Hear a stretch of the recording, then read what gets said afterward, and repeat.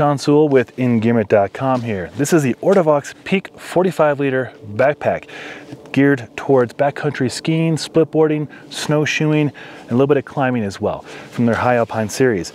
This backpack has earned my favorite spot as far as uh, splitboarding backpacks for the 21-22 season, so it's saying quite a bit. And in this review, I'm gonna go over the features and functions and reasons why I appreciate this backpack so, so much. It's 45 liters, which I think is the right amount of volume for a full day of backcountry use uh, with proper first aid kits, repair kits, and backcountry provisions, uh, with room to spare. Honestly, this thing is sizable, but also you can you can cinch it down and make it a more manageable 30-ish liters if you want to, which is why I like the versatility of a larger backpack. Um, I've gone in other reviews about using smaller backpacks. I'm just not that big of a fan. I always like to uh, over prepare and underutilize with backcountry travel. So with that in mind, this is a 45 liter backpack with a lot of features. As you can see on the side, I have my collapsible trekking poles in place.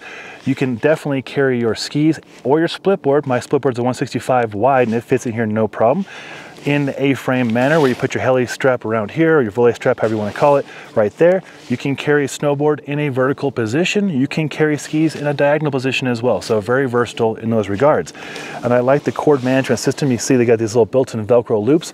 So it keeps the cords nice and clean, nothing dangling around, easy to adjust.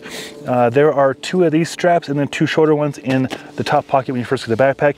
These are to adjust to carry for the snowshoes or the, the skis or the snowboard, however you want to carry it. There's a lot of options. There's also these nice Velcro loops. There are uh, multiple places to attach them. This is great for your crampons, snowshoes. In my case, my hard boot bindings, my Phantom M6 is right here. You can put it through right here, right there, right there, right there, and right there. So a lot of versatility of where you want to place things, where you want to carry things. Of course, you could use those heli straps, Voile straps, and put in there and tighten things down too. You can never carry enough of those on your person.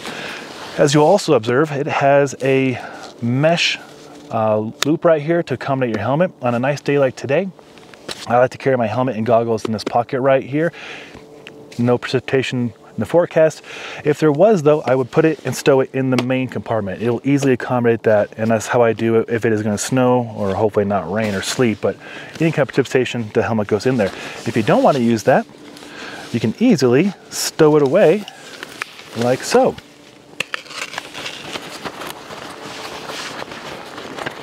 Boom. And now you're touring. And also get better observation on the loops for the crampons and snowshoes. On the top, you get, of course, a pocket that is fantastic for uh, quick hit things. I got my shades, got the chapstick and sun sunscreen, some snacks. And then on the inside, two clips, boom, boom. So much more space I could utilize. It's very accommodating. I grab the orange, I grab the orange, I pull, and now we're on the inside of the backpack. The zipper right here, it goes all the way around. I'll show you that in a second. Extra puffy. I could easily put that helmet right there. And then also, that's how you close it up. On the inside, you get one more pocket right here. That's where I keep my headlamp, multi-tool, and stuff like that. I'm gonna close it back up. And we'll get back into the extra features that really set this guy apart. All right, Safety. The color is safety blue and orange. I really like this color because it stands out, especially in flat light or low light situations. So my partners can find me, and if they're wearing this color, I can find them easier. Um, safety. Speaking of safety, you get one big pull tab, one big, easy to use pull tab to access the safety panel. In, in, or safety pocket, I should say. In that pocket, only thing goes there, shovel blade, shovel handle, um, saw, and probe. That's it, that's all goes in there. I like that it's just one easy to use zip right there. This pocket right here, nice bright hit, easy to use with gloves. That's where I keep my map and um, my avalanche notebook for observations in the field, which I hope you guys are using. And then this is a really great feature. Really great access. So you had top access I showed you. Then you have full zip all the way up to the top access right there with the first aid kit, snacks, extra water, puffy, uh, additional jacket and goggles.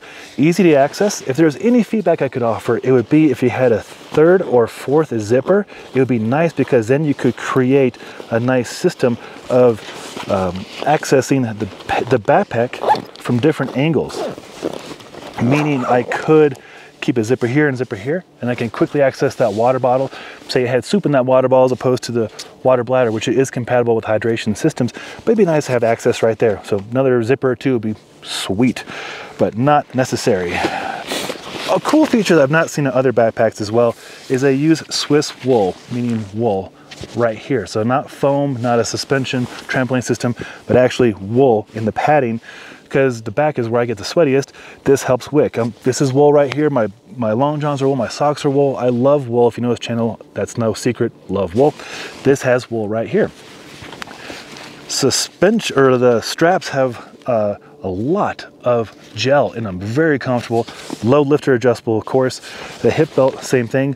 Lots of nice gel, very comfortable. Sets the iliac crest just right. One sizable zip pocket right here, so I carry my inclinometer and my little hard-sided brush for transitioning from split board touring to split boarding mode. Uh, that's one of the tricks I learned from Koei Townsend. Actually, is carrying a little brush in there, just brushing off the bindings, keeping things clean. No pocket on this side. Kind of wish there was, but some people use rope. I know will appreciate that. Oh, speaking of rope, there is an additional strap right here that will keep your rope in place. So if you're into getting off of terra firma, have you covered right there. So as you can probably tell, uh, I'm a very big fan of this backpack. It has been my favorite one to use. It's accommodated all my missions this year and um, I can't recommend it enough. It's fantastic. It is 220 US. I'll put links below where to purchase. This is Sean Sewell with engearment.com. Got any questions on this or how me to test out other parameters of this backpack?